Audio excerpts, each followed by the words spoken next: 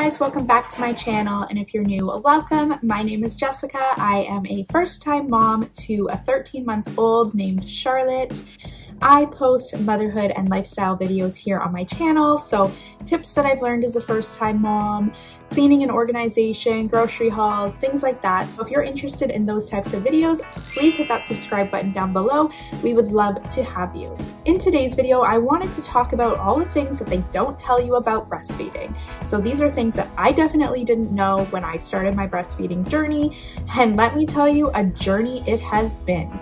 I am still nursing my 13 month old. However, we are starting the weaning process now. So stay tuned for that video because it's a challenge. I've just learned so much in these past 13 months about breastfeeding. I just wanted to share everything for moms to be who may be considering breastfeeding or new moms who are just starting their breastfeeding journeys. The first thing I didn't realize about breastfeeding is just how time consuming it really is. I knew in general that babies, especially in the first few months, needed to feed frequently, so meaning every two to three hours. But what I didn't realize is how long an individual nursing session actually lasts. You could be nursing your baby for anywhere between 20 to 60 minutes in one session, especially in the first couple months while you're working on building your supply and the baby is learning, it could last a very long time. Another thing I didn't realize is that you start counting your two to three hours from the beginning of your nursing session, not the time you finish. So for example, if you start nursing your baby at 11 a.m., you would count your two to three hours from the start of your session. So you would count two to three hours from 11 a.m. So that would bring you to about one to two o'clock that you would need to nurse again. So the thing about this is what makes it so time consuming is the fact that if your nursing session has lasted 60 minutes, you technically only have an hour, roughly an hour to an hour and a half before you have to nurse again. So it really doesn't give you much time between. Piggybacking on the point of nursing being time consuming, I also didn't know about cluster feeding. In the beginning, especially leading up to my milk coming in, Charlotte was constantly wanting to nurse, especially through the night. So I was up all night for the first few nights just nursing her all night long. I started doing some research and I realized that she was cluster feeding. This typically happens when the baby goes through a growth spurt in the early days. However, I will say it's not just in the early days. It lasts for a few months. Cluster feeding can happen for your whole nursing journey, just depending on the baby. But the pediatrician also explained to me that babies kind of have like an instinct to get your milk to come in. So basically they realized that, hey, if I nurse more, that means more milk. So at the beginning, she was cluster feeding because she was trying to get my milk to come in. This was her way of signaling to my body that she needed more milk. She also mentioned that night two after you have your baby is generally always the hardest. That is usually when most moms are up all night with their baby. So night one, they kind of give you like that honeymoon phase, but night two, they're right to it trying to get that milk to come in. Let's talk about those first few days while you're waiting for your milk to come in. So I'm sure you've heard or you know that the first milk that you get is called colostrum. So basically that is like a yellowish fluid that comes from your breasts um, and that is packed with nutrients that are so beneficial to the baby. And so that's what you'll probably get for the first couple days before your milk come in, comes in.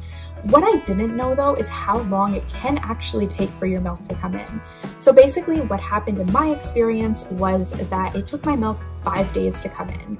And I was wondering why Charlotte was constantly cluster feeding, why she wasn't seeming satisfied after nursing her for an hour, I didn't know what was happening. So again, the pediatrician told me that for some women, it just can take a long time to for their milk to come in.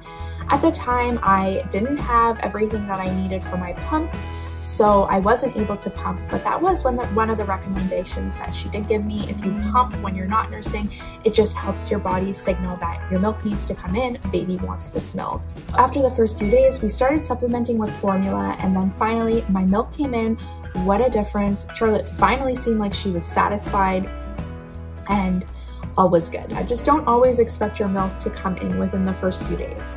So something else that I didn't realize, which may seem a little bit silly to some, but I didn't realize that babies don't naturally know what to do.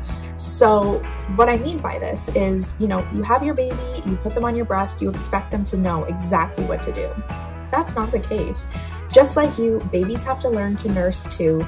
So I had a lot of trouble in the beginning with latching and I honestly expected it to be so easy. It was so hard and overwhelming for me to figure this out. And it was probably the first month that I really struggled with breastfeeding. I expected this experience to just be a natural experience, something we would both would get like at the snap of our fingers.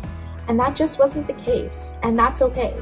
I finally reached out to a lactation consultant and she was so helpful. Charlotte and I learned together how to nurse and even though it was super challenging at the beginning, we finally did it. So don't be surprised if your baby doesn't know what to do because they are, they are entering this new world not knowing a thing and you just have to learn together. Something I also learned while I was seeing the lactation consultant was that there are various different positions that you can actually breastfeed in. So of course, the most common one is probably the cradle hold. So that is what I was doing with Charlotte. I was wondering why the heck it wasn't working on one side, but it was working on the other side, why she was able to latch on one side, but she wasn't able to latch on the other side.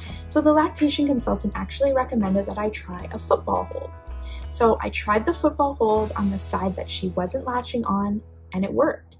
Basically, I guess just something about the angle in that position, she was able to latch on a lot easier and it made our nursing sessions go so much smoother. Basically, at the beginning, I had to use a different position for both sides, but it ended up working so much better. It removed a lot of the difficulty that we had with nursing. So definitely research those different positions and figure out what works best for you and your baby. And don't be surprised if they want a different position on both sides. So the last thing that I can think of that that I had no idea about was nursing strikes.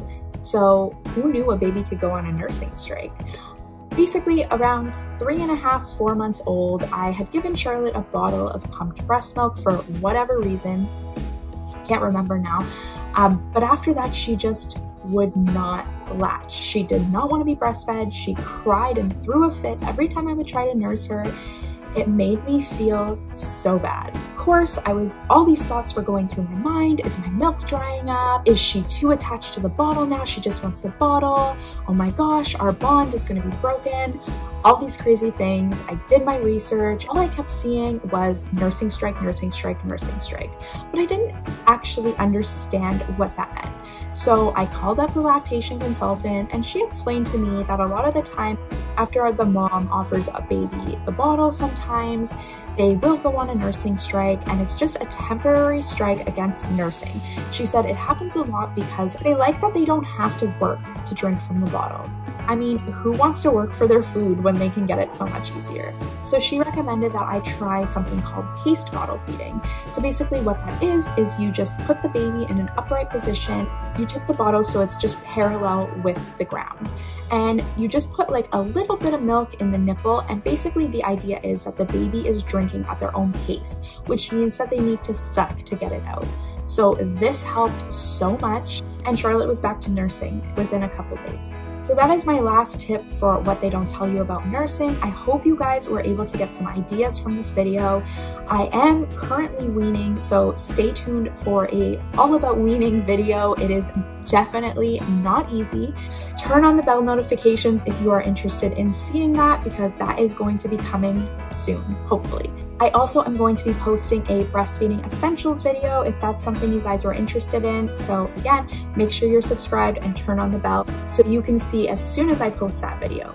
That'll be all for today's video. I hope you guys enjoyed. If you did, please give it a big thumbs up, subscribe if you're new, and I'll see you guys in the next video. Bye guys.